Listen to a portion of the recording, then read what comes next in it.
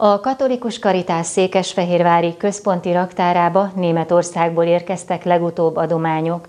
Sokféle használati tárgy, köztük iskolapadok is, melyekből a szervezet a Sümegi Ramazetter Vince testnevelési általános iskolának is adott egy osztályteremnyi mennyiséget. Ezzel együtt indul az Angyal Batyú program, melynek keretén belül a diákok cipős doboznyi segítséget tudnak adni hátrányos helyzetű családoknak. Begördült az iskola elé a Karitász autója, s benne újszerű állapotban iskolapadok.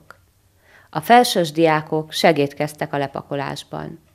A padok állítható magasságúak, alsó tagozatosoknak szánják. Nagyon sokféle dolog volt ebben a szállítmányban, a ruhától, a bútoron keresztül az elektromos háztartási gépekig játékok, édességek, nagyon sokféle dolog, amit a munkatársaim folyamatosan szállítanak a településen működő csoportjaink felé, az önkéntesek pedig tovább juttatják ezt. Nagyon sokszor nyilván, amit gyűjtünk vagy adományba kapunk, azt mindig igyekszünk továbbadni a legmegfelelőbb helyre és azt gondoltuk, hogy most itt lesz a Süvegi iskolában a legjobb helye ezeknek a padoknak. Az adomány mely most a Sümegi Intézménybe érkezett, jól jön egy osztály bútorainak cseréjéhez. Folyamatosan fogynak a 2010-es felújításba kapott iskolapadjaink, úgyhogy nekünk ez a karitás felajánlása László Atyán keresztül nagyon nagy segítség, hiszen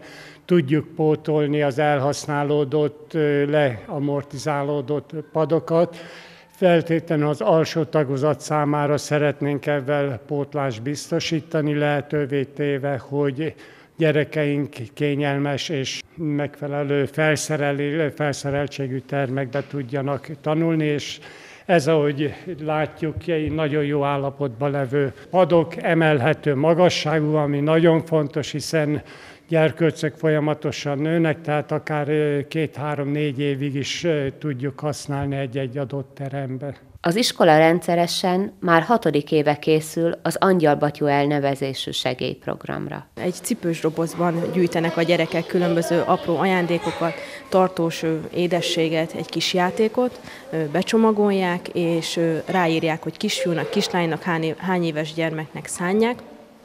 Ezeket a dobozokat a mi iskolánk is gyűjti. Hat év alatt minden évben csatlakoztunk a programhoz, és elmondhatom, hogy nagyon-nagyon szép számmal volt, hogy közel majdnem 200 dobozt is összegyűjtöttek a gyerekek, és olyan öröm látni, hogy szívből hozzák, és elmondják, hogy édesanyával, édesapával együtt készítették. Advent folyamán a jövő héten hirdetjük meg mi is, és várjuk egészen december elejéig a gyerekektől ezt a kis ajándékot. Az együttműködés tehát jól működik a karitás szervezet és az iskola között.